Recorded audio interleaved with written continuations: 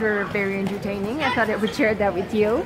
Um, so today is uh, June 1st and I will share right now one of the, well two of the great news that uh, I've been kind of telling you about here and there. I had a meeting with the, the AR director in France for Sony France. Um, so it, this is incredible. I um, so I've been obsessed with uh, trying to meet up with that person. Uh, ever since I got here, I kind of searched all the major labels in France and uh, wanted to meet with this person because I wanted to introduce myself in person and uh, obviously offer my services to work with uh, any of their artists it was a very, very productive meeting. I exchanged great words and uh, great contacts, great opportunities.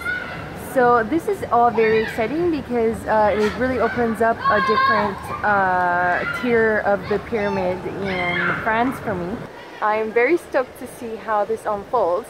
Um, and then between this, I got um, an offer to uh, be featured in a very big French drum magazine here uh, with who I'll be collaborating uh, for other projects as well.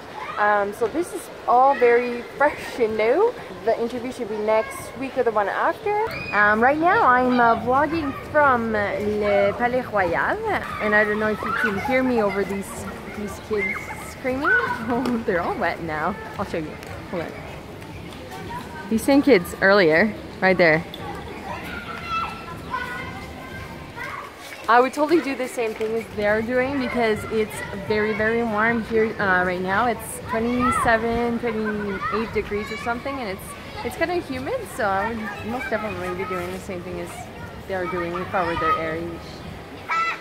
Um, next I am uh, to a show at a very uh, famous jazz club uh, called Baiser Salé. They have um, jazz jam nights on Mondays. I went there only once actually.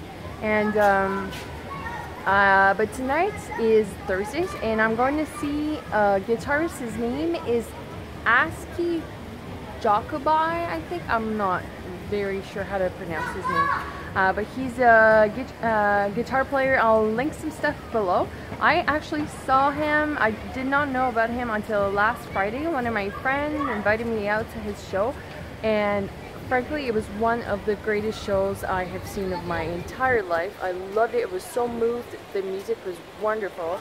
Um, and so I just kind of took a minute and wrote to this guy through Facebook and he invited me out to his last show in Paris. So I'm very stoked to go see this. I'm really stoked to meet him. I was too shy to go up to him and talk to him at the show last Friday, so I'm excited about this to meet new people.